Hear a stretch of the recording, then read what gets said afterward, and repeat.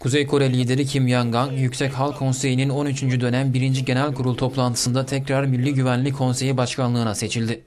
Başka isimlerin aday olmasının yasaklandığı seçimlerde Kim Yang-gan'ın seçilmesi sürpriz olmadı. Genç lider ilk olarak 2012 yılı Nisan ayında Kuzey Kore Yüksek Halk Konseyi'nin 12. dönem 5. Genel Kurul toplantısında Milli Güvenlik Konseyi Başkanlığına seçilmişti. Babasının ölümünden sonra liderliği devralan Kim Jong-un iktidarını güçlendirme adına etrafındaki üst düzey bazı isimleri idam ettirmişti. Kuzey Kore'de yürütmeyi Yüksek Halk Konseyi temsil ediyor ancak ülke Milli Güvenlik Konseyi tarafından yönetiliyor.